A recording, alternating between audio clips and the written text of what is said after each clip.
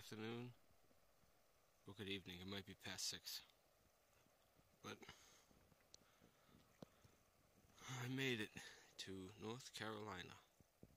This is the border between Georgia and North Carolina. Man, I've seen a bunch of videos of people here. I've been here once, I think. And uh it's uh I almost walked by it and I think maybe Turtle was so focused on hiking he may have walked by it because I think he was in front of me. And uh I'm gonna have to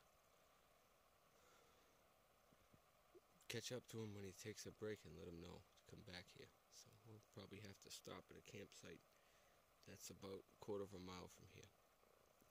So check this out.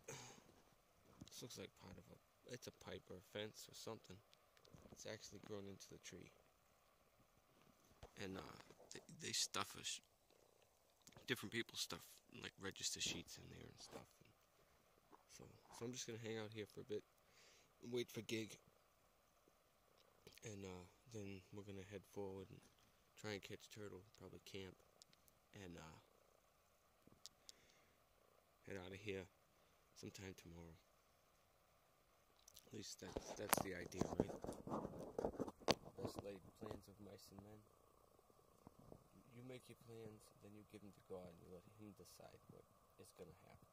So, anyways, um, uh, yeah, I'm, I'm at. Uh, well, right now I'm in Georgia.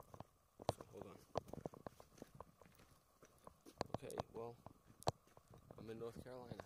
So, uh, if you, anybody actually watched this, thanks for watching, and uh, God bless.